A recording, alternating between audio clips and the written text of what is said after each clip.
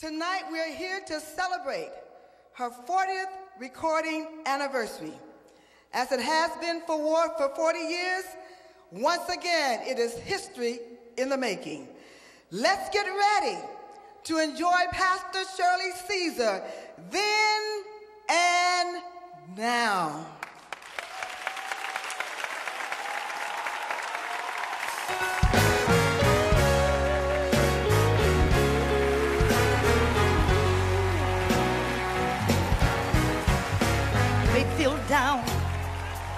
like gone, that somehow forgotten that you are faced with circumstances that you cannot get through. Right now it seems that there is no way out and you're going under. God's proven time and time again that He'll fix it for you.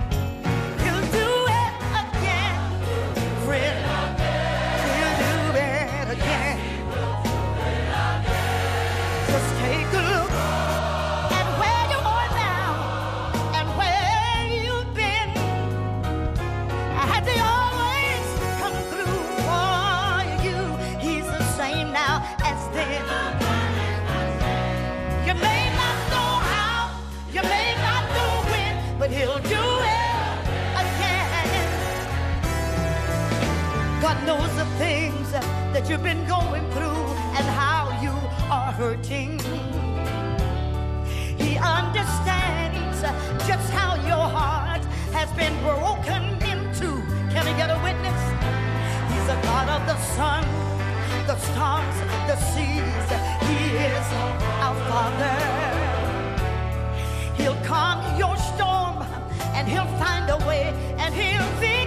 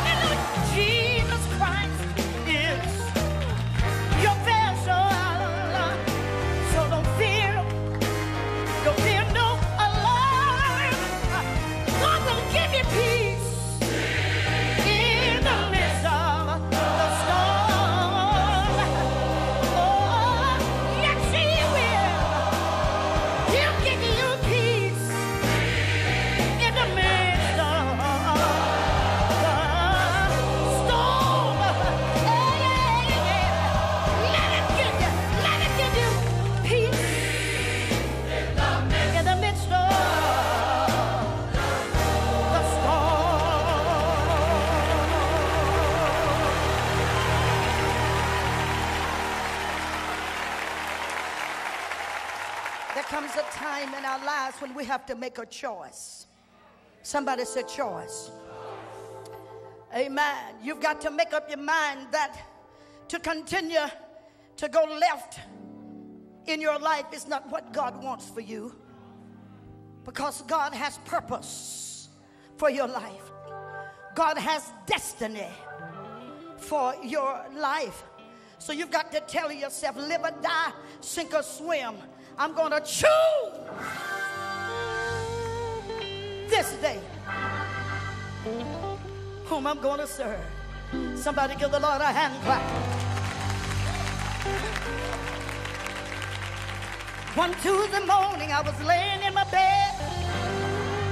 I'll never shall forget it. It was around 7 a.m. in the morning.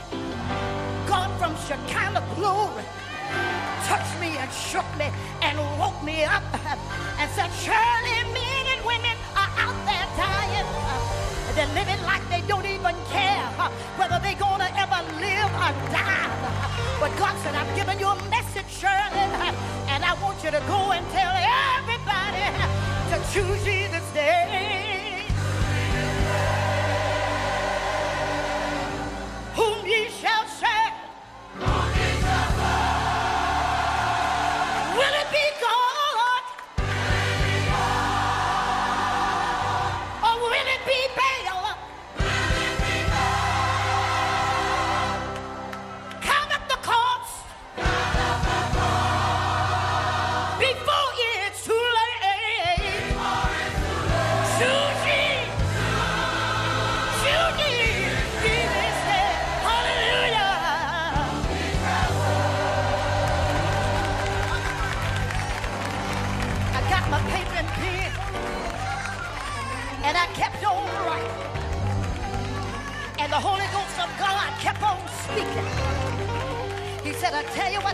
you to do because they're living like they're gonna live forever. But tell the young people and tell the old folk uh, the Lord comes.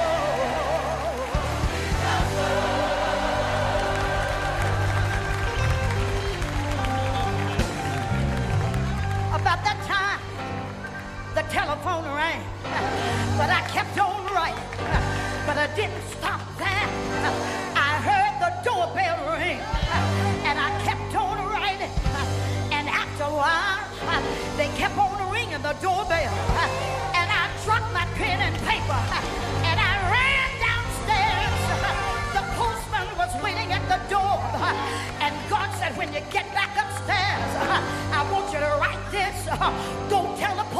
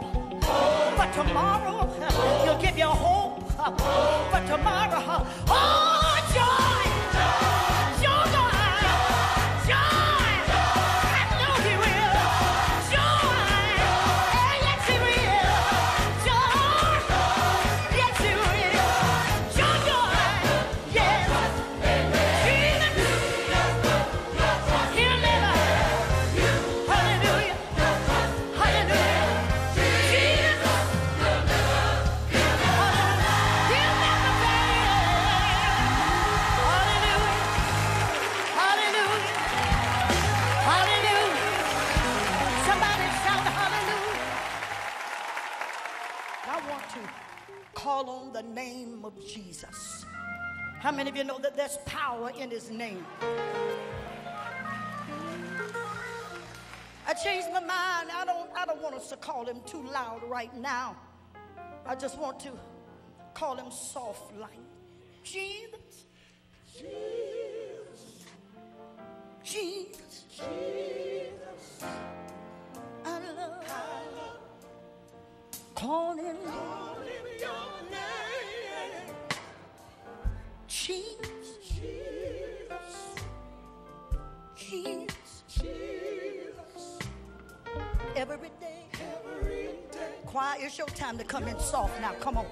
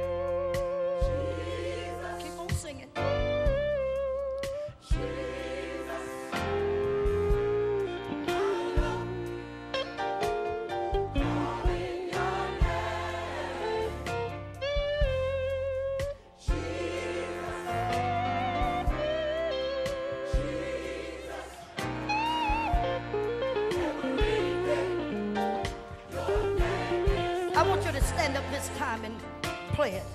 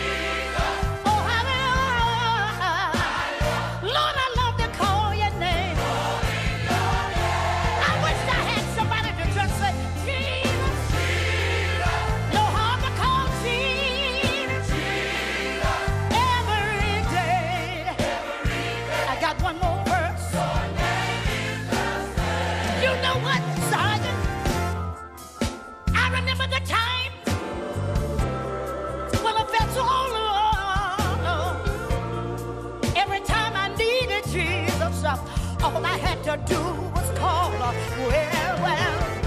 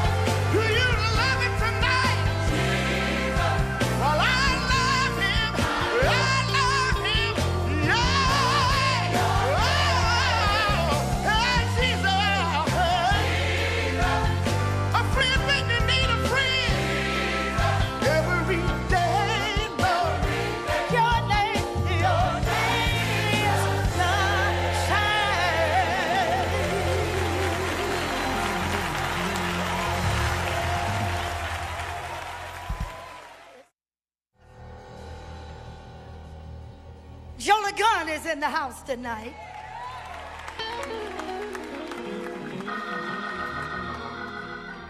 I'm going to ask Joe if you'll come tonight and share with me. This is Joe Ligon of the Mighty Clouds of Joy.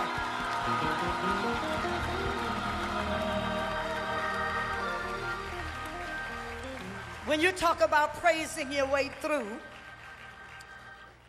it is this young man, after going through open heart surgery, how many? Three, triple bypass. Not so long ago, and God gave him back his life. Give God some praise for him.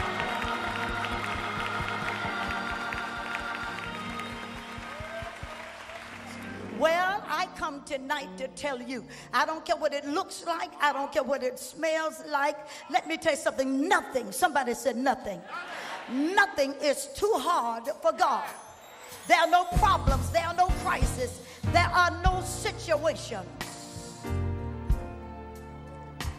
God's got it all in control. I don't know whether you believe that tonight. He's got it all in control. You know, He put that reassurance way down in my soul. Yeah, yeah. I come to tell somebody that God's got it in control. You ready? God got it all in control. Hallelujah. God got it all in control. You know what? He put that reassurance way down in my soul.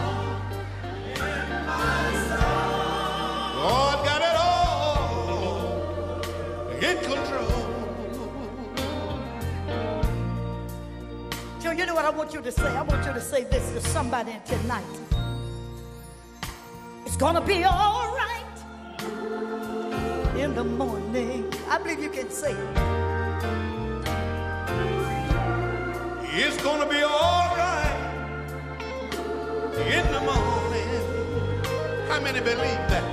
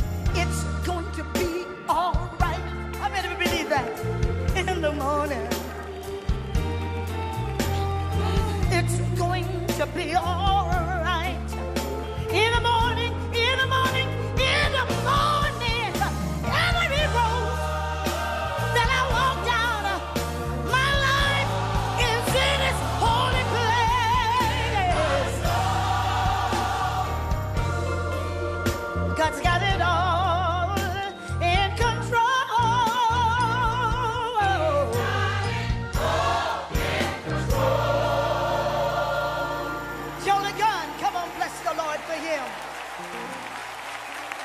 Don't leave yet. I'm there as well. I'm there as well. There's an old hymn, and it's just, it's just, just bass, drums. There you go. Come on, bass. Yeah. There you go.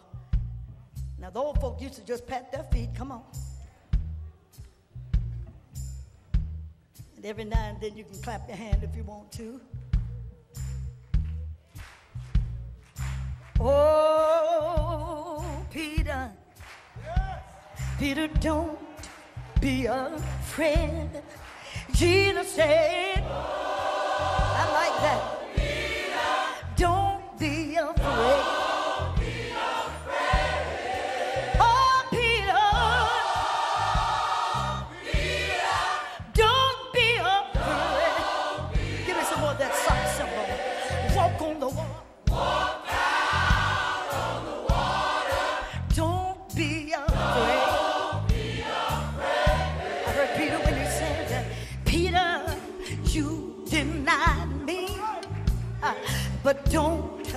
be afraid. Oh, Peter, you denied me. Come on, sing it out a little bit louder. Oh.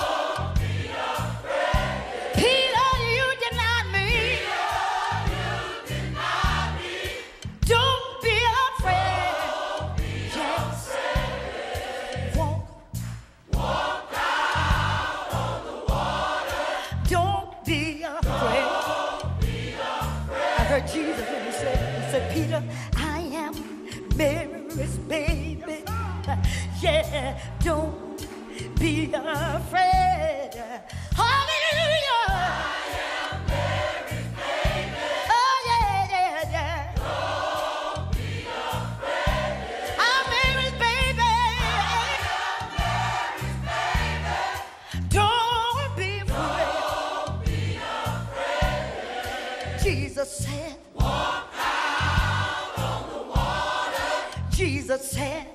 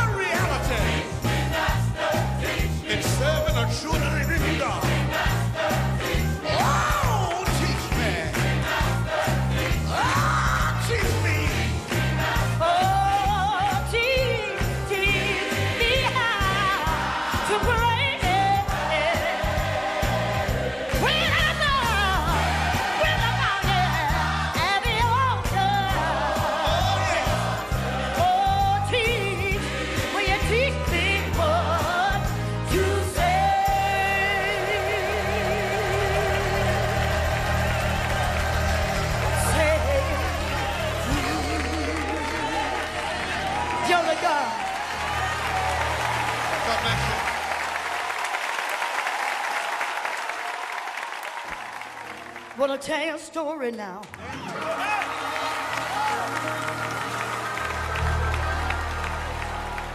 About a man.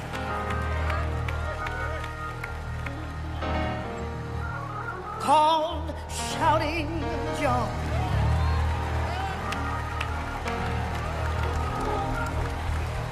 John joined a dead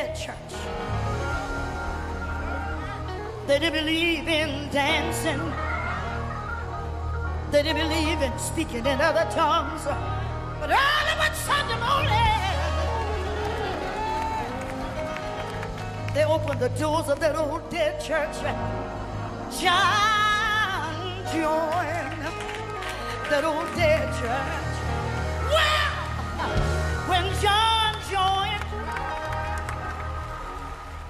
that old dead church, he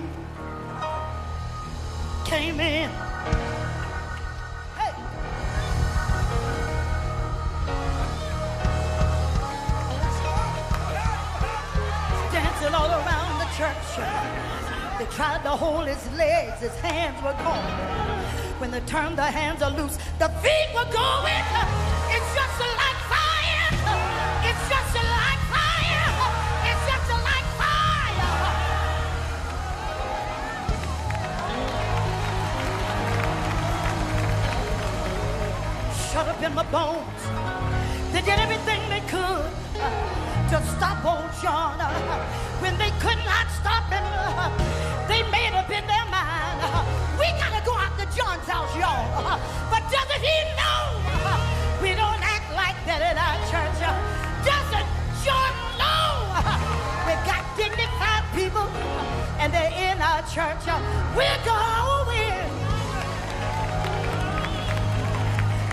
We're going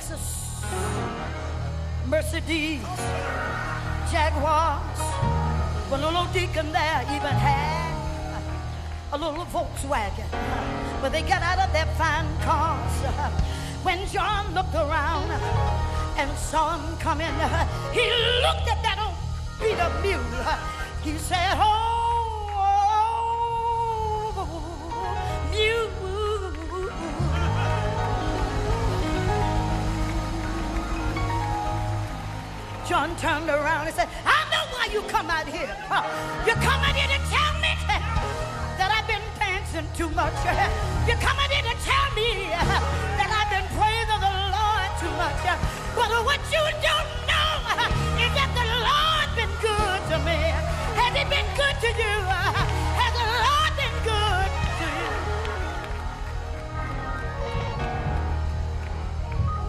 One of the deacons walked over to him said, John, if you don't sit down and be quiet, we're going to put you out of our church. Somebody say yes. Somebody say yes,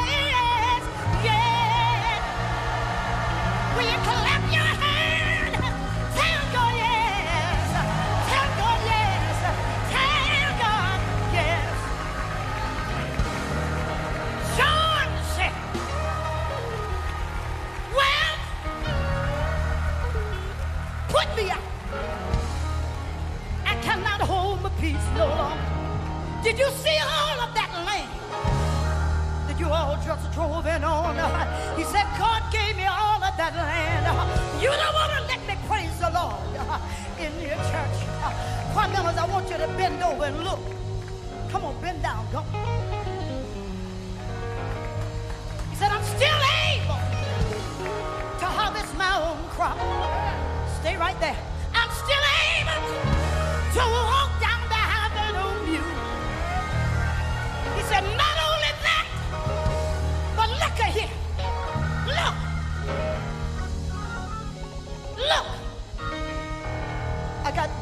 greens, potatoes, tomatoes, lamb, rams, hogs, dogs, chicken, turkeys, rabbits. You name it.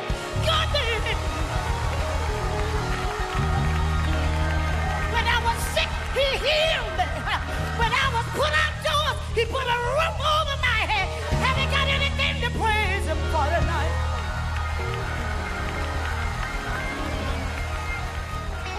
John said, since I can't your church, I got something I want you to do for me.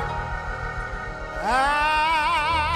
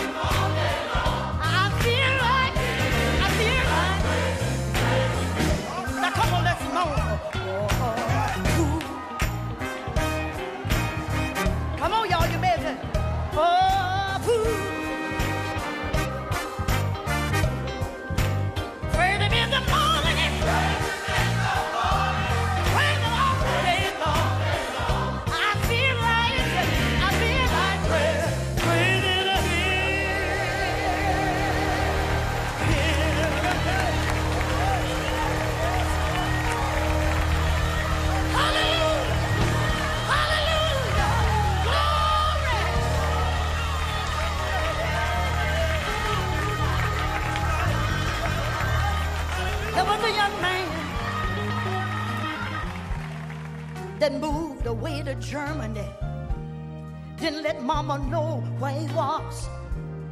Got over there in a bad accident.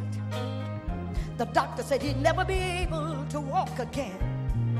He had braces on his legs, and the family tried to find him to let him know that his mama had passed away, but to no avail. Finally, the news reaches him. Later, we see him standing with crutches on his arms and braces on his legs uh, in front of a fresh grave, uh, putting petals from the rose uh, on the ground. And look like I can hear that boy saying to his mother, too late. Petals from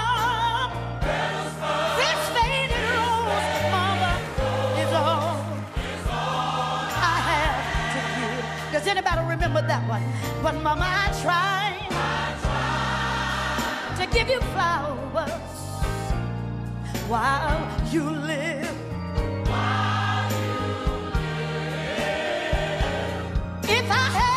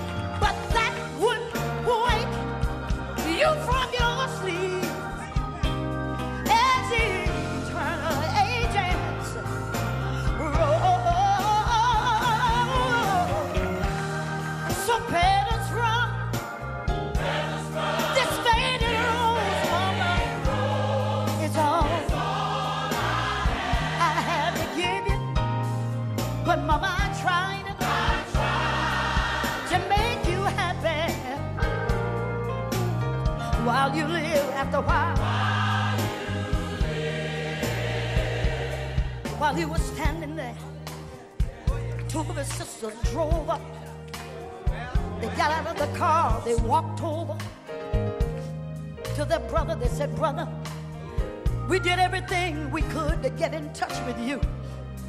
One of them said, But one thing I did, I took my diamond ring and I placed it on her hand. I knew you'd be pleased with that. The other sister said, Brother, we couldn't find you.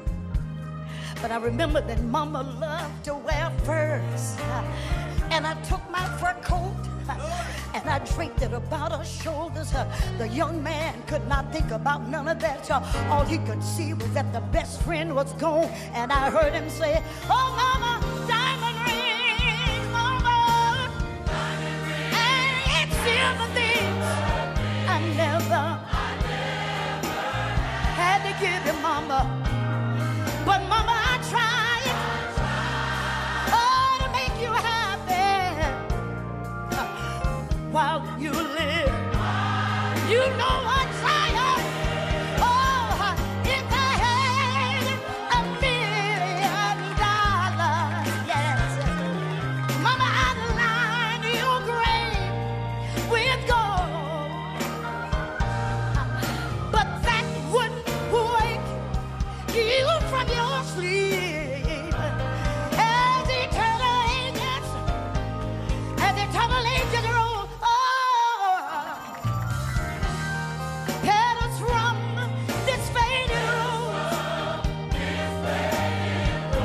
is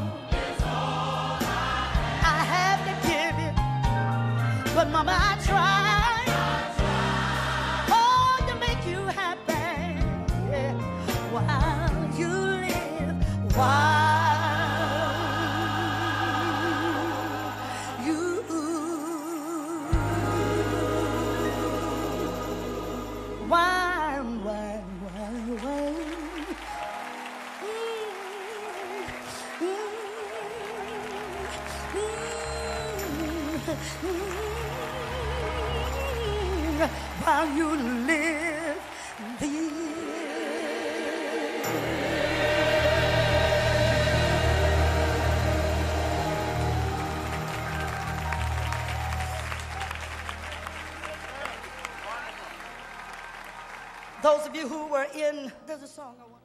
The armed services, I want you to come and just stand around here because you're going to salute this flag.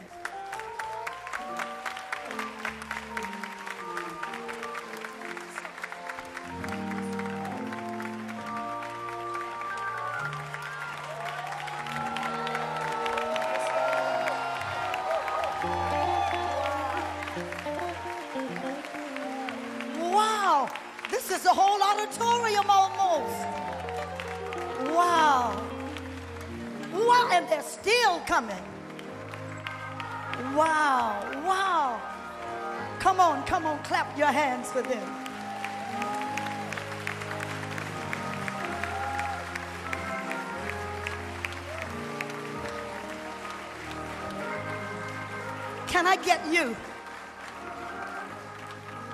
to salute this flag now?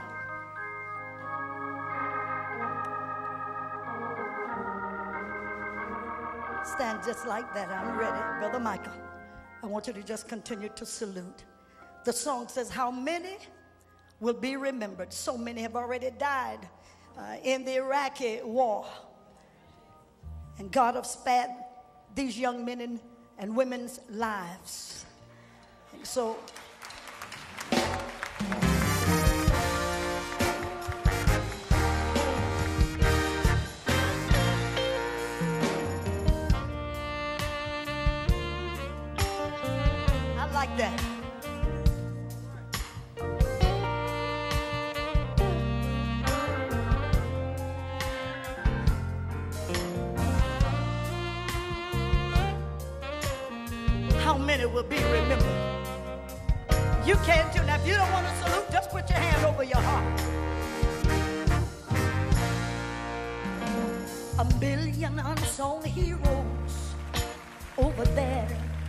at home while sleeping in their graves.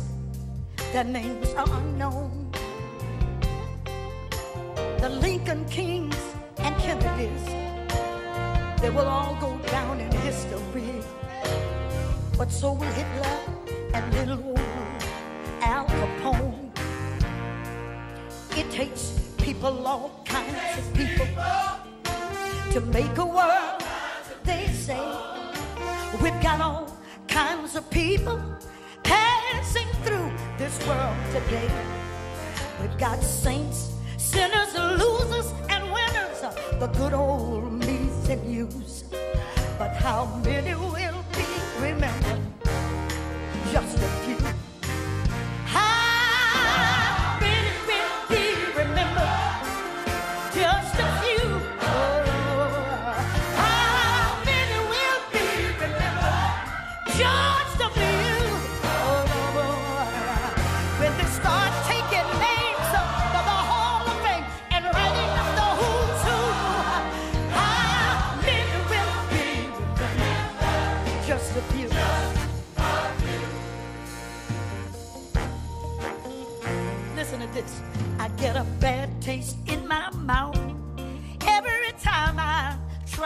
Say John Wilkes Booth, Lee, Harvey Oswald, and names like James Earl Ray. They're never to be forgotten sins, but they'll stick like thorns in the minds of men. A hundred million years from today. You know what, church? It takes people.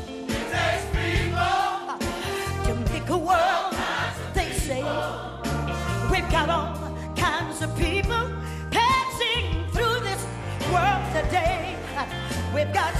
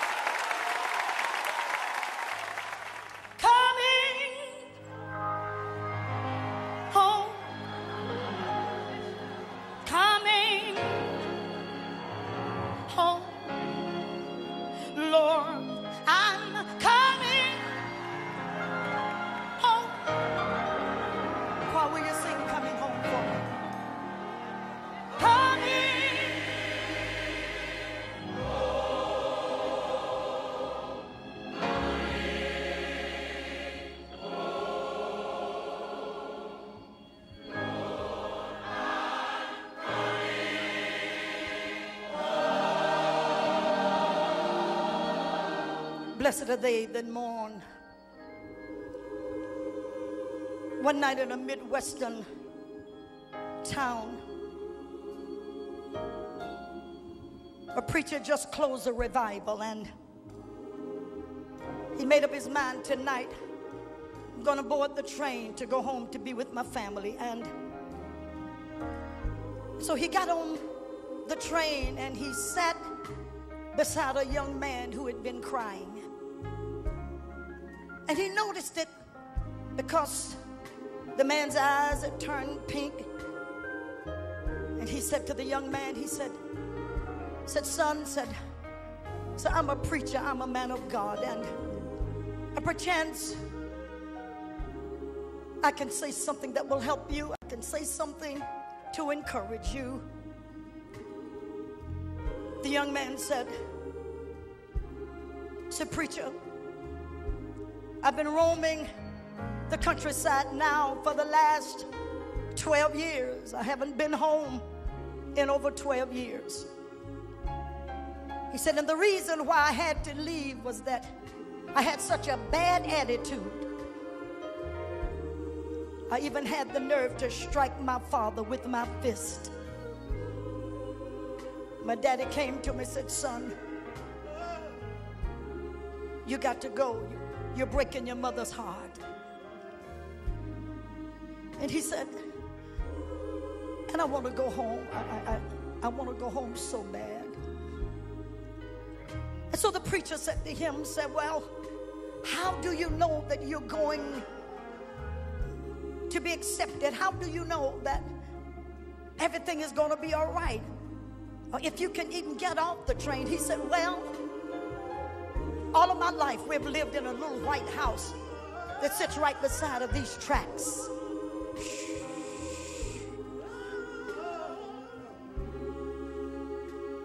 And I wrote my mama a letter.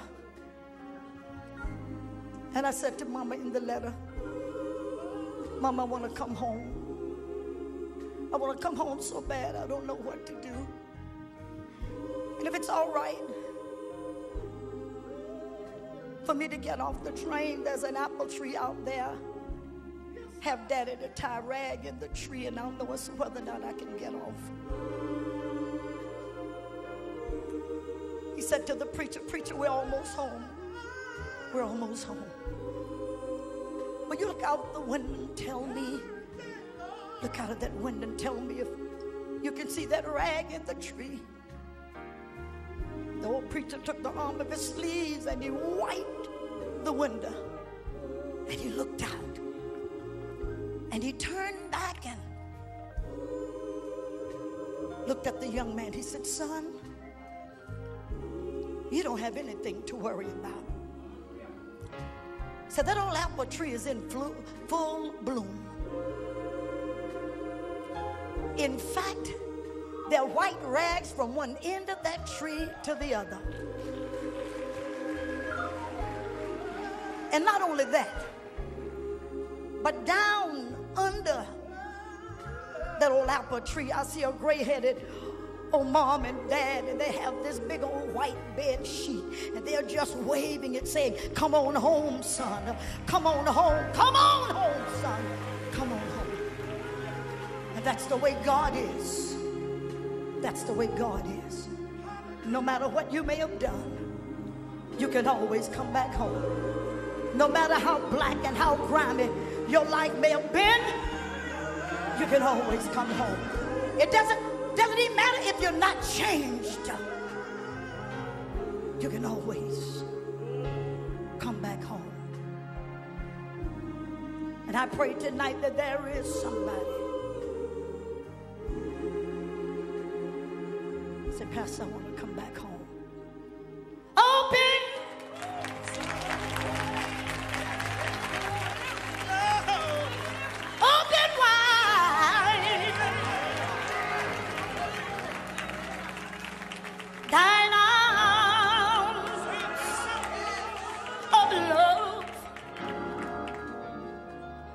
somebody say, Lord,